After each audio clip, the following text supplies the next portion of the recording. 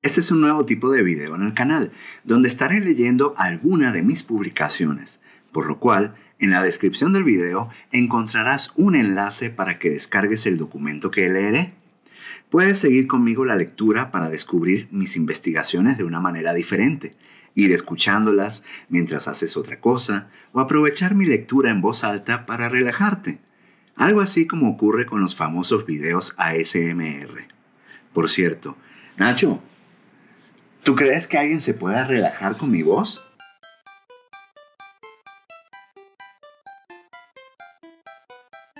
Leamos entonces.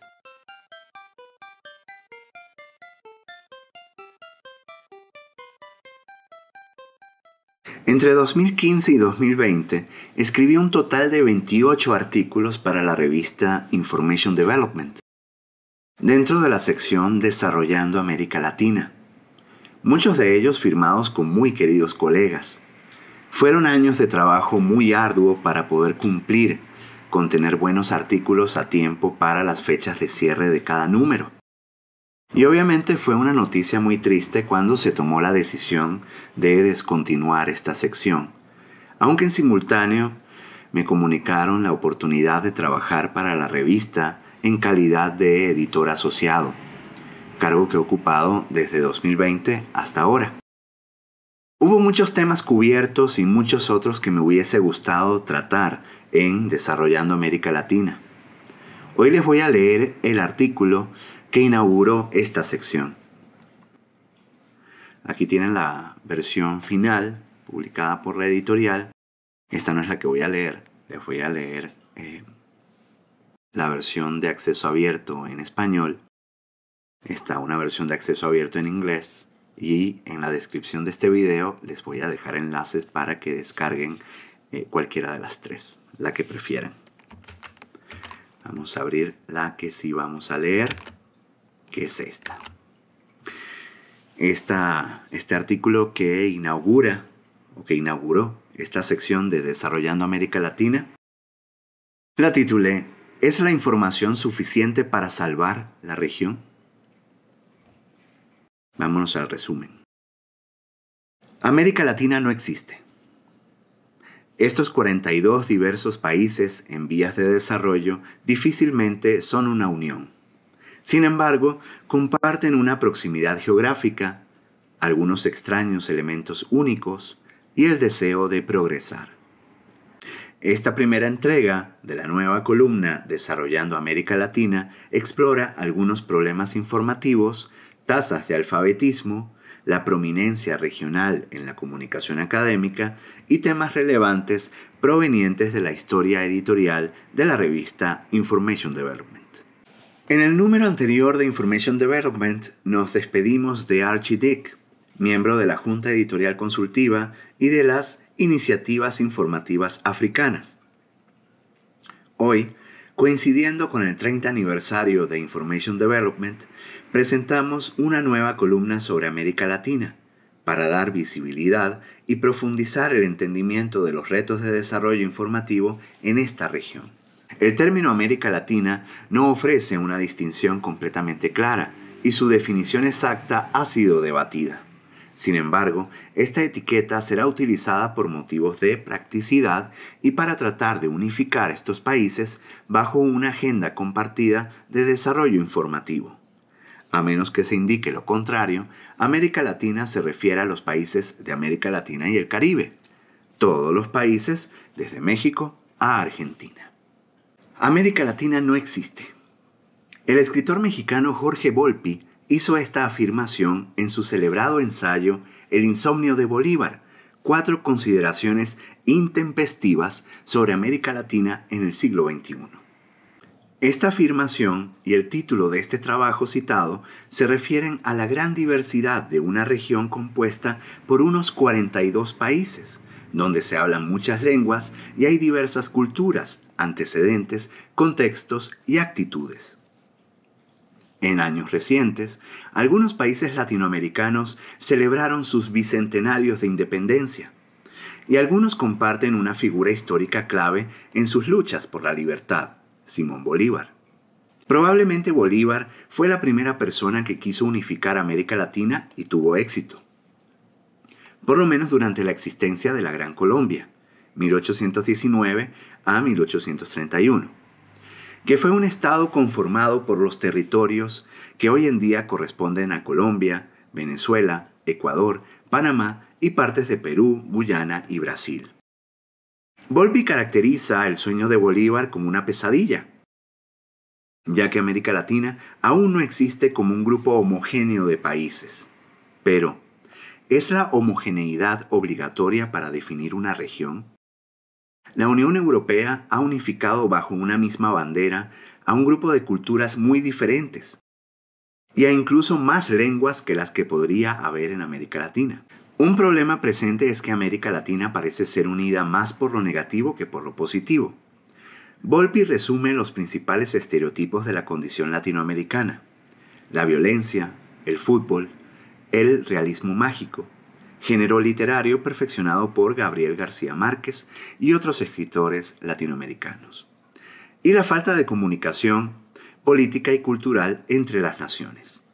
Esto último es debatible hay tratados económicos entre los países e intentos recientes de unificación bajo el dudoso movimiento político del socialismo del siglo XXI, el cual ha permeado algunos aspectos sociales, económicos e incluso culturales de las sociedades latinoamericanas, además de fascinar a algunos, incluso a un nivel místico mientras que para otros está entre las ideas contemporáneas más controversiales, al ser un elemento más divisivo que unificador.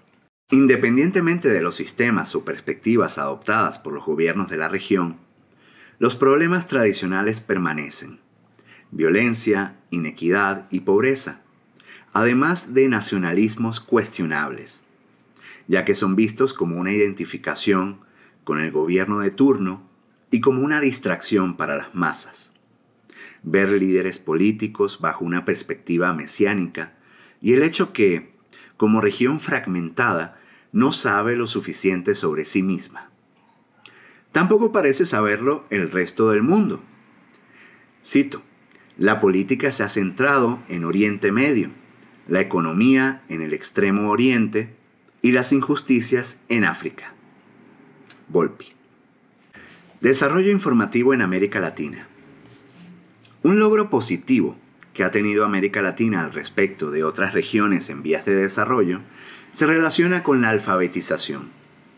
De acuerdo a la UNESCO, en 2013, la tasa de alfabetismo en adultos en los años 90 era de 86%, mientras que en Asia Oriental y el Pacífico era del 82, 55 en los estados árabes, 53 en África subsahariana y 47% en Asia Meridional y Occidental. Aunque a principios de 2000, Asia Oriental y el Pacífico tenía una tasa de alfabetismo ligeramente superior, 92%, que América Latina al 90%, la UNESCO proyectó que para 2015 10 países latinoamericanos alcanzarían tasas de alfabetismo del 99%. La prominencia de América Latina en publicaciones científicas es otro elemento relevante, por lo menos en la investigación relacionada con el campo de la información. En general no hay demasiados artículos publicados por autores latinoamericanos en esta área, ni tampoco hay muchos escritos sobre la región por otros autores. Ciertos inconvenientes impiden el surgimiento de América Latina en cuanto a publicaciones científicas. Algunos se relacionan con los mitos que indican que las publicaciones científicas son exclusivas y costosas. Además, parece que las instituciones académicas no le han dado la importancia debida a la investigación, ni han ideado buenas o claras políticas de apoyo, y la razón principal para esto puede ser económica. Es costoso enviar académicos a conferencias y hacerlos publicar artículos mientras dejan las tareas de docencia y administración desatendidas.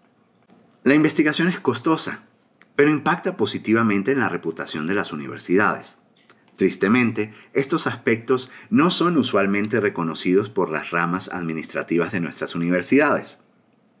En algunas parece que la única prioridad son los costos.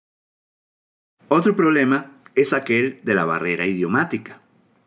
Para algunos académicos es difícil escribir en inglés y muchos prefieren escribir en los idiomas de la región y apoyar exclusivamente las publicaciones locales. Johnson ha señalado este problema anteriormente, rastreando la representación de la región en Information Development. Tomando en consideración los 30 años de la publicación Information Development, hemos identificado que ha habido 50 textos relacionados con América Latina. 40 son artículos, mientras que 10 son columnas cortas.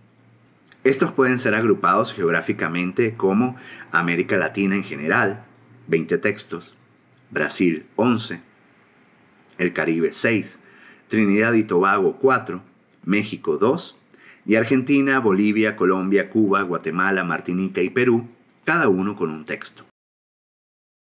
Los temas cubiertos en estas contribuciones fueron Bibliotecas y servicios de información, 8 textos, Publicaciones científicas, 5, Entornos y redes informativas, 4 cada tema, Información de negocios y de salud, 3 cada tema, Alimentos, Tecnologías de Información y Comunicación, TIC, TIC para el Desarrollo, Alfabetización Informacional, Profesionales de la Información, recursos naturales y patentes, dos textos cada tema. Copyright, bibliotecas digitales, e-learning, economía, género, necesidades educativas, gestión del conocimiento, bases de datos en línea y software libre, uno cada tema. Un promedio anual de 1.67 contribuciones sobre América Latina durante el periodo de 30 años oculta el hecho que la cantidad de textos ha aumentado de un total de 10 ítems en los años 80 a 13 en los primeros 5 años de la década actual. Aunque esta cantidad sigue siendo modesta en comparación a las cantidades de contribuciones de África y Asia. Sin embargo, la representación de la región en Information Development también se refleja en el hecho que ha habido 8 miembros en la Junta Editorial Consultiva de Information Development, que son de América Latina de Argentina, México y Venezuela aún son miembros activos. ¿Es la información suficiente para salvar la región? Nuestra pregunta inicial ha quedado sin respuesta, y aunque hemos ofrecido algunos argumentos para trabajar en una respuesta, responderla no es sencillo. Revisaremos esta pregunta en futuras entregas de esta columna a través de nuestros análisis de varios temas sobre el desarrollo informativo de la región, esta vez, sin embargo, hemos echado un ligero vistazo a algunos de los problemas y similitudes de América Latina como región, sus tasas de alfabetismo y la falta de protagonismo en cuanto a publicaciones científicas, los cuales son claramente temas de desarrollo informativo, además de varios temas relevantes de acuerdo a la historia publicada de esta revista. América Latina tiene un buen posicionamiento de acuerdo a sus tasas de alfabetismo y debemos confiar que las personas que pueden leer y escribir son capaces de aprender, reflexionar y actuar. Esta es una idea común entre profesionales de la información, que las personas con la mejor información pueden tomar las mejores decisiones.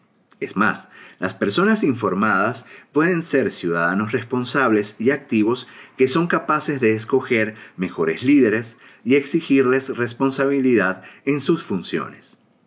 Sin embargo, las altas tasas de alfabetismo no necesariamente se han traducido en progreso durante los últimos 30 años. Quizás ha habido menos dictaduras en la región, pero los crecientes niveles de violencia y crimen, junto a la continua fragmentación y actitudes divisivas debidas a dudosos movimientos políticos, son todavía rasgos preocupantes. El omnisciente problema de la violencia, junto a la inestabilidad política, social y financiera, hacen difícil predecir una América Latina desarrollada en los años venideros. Sin embargo, ha habido importantes logros, como por ejemplo, tasas de alfabetismo más altas, un reciente e impresionante crecimiento económico, científico y educativo en Brasil y otros países, el auge del acceso abierto con repositorios regionales como Cielo, Claxo, Redalic, los cuales han sido claves para dar más visibilidad a las revistas científicas y al mismo tiempo aumentar su impacto y calidad. Además del continuo apoyo de iniciativas internacionales conducidas por organizaciones como el Centro Internacional de Investigaciones para el Desarrollo, el cual tiene como objeto el empoderamiento y desarrollo a través de la investigación y la tecnología. Es vital para los profesionales de la información y los académicos latinoamericanos en general que comuniquen sus investigaciones y trabajos a través de publicaciones científicas, para intensificar el perfil internacional de la región. Por eso, es importante tener pequeñas ventanas informativas como la presente, que puedan informar y crear conciencia sobre lo que ocurre en América Latina. En próximas entregas tomaremos en consideración los temas mencionados en esta introducción, así como muchos otros que sean de importancia histórica o estratégica para la región, como la alfabetización informacional, profesionales de información, acceso abierto, investigación-acción, libertad de información, ciudadanía digital, reclutamiento, pagos, impuestos y adquisiciones, entre muchos otros. Para mantener la dinámica y variedad, Hemos invitado a colegas de la región quienes son expertos en distintos temas para que colaboren con nosotros en futuras entregas. Desarrollando América Latina significa un recordatorio constante que la región está en desarrollo y debe ser desarrollada en más profundidad. Es una obra en construcción. El propósito general de la investigación y la publicación científica debe ser trabajar por el desarrollo regional, para avanzar con la región y, más importante, comunicar sus retos, oportunidades y logros. Esperamos que nuestros lectores disfruten esta nueva columna. ¿Qué les pareció este primer artículo de, la sección Desarrollando América Latina? Fue publicado en 2015. ¿Consideras que está vigente todavía? Cuéntamelo en la caja de comentarios. Te invito a visitar mis redes. Aquí tienes los enlaces. Si te gustó este video, considera darle me gusta, compártelo, coméntalo y suscríbete al canal. Eso me ayudaría mucho para desarrollar y visibilizar videos como este. Si lo deseas, también puedes financiar este proyecto a través de microdonaciones por medio de Patreon o PayPal. Gracias por ser parte del proyecto Juantífico. Hasta la próxima.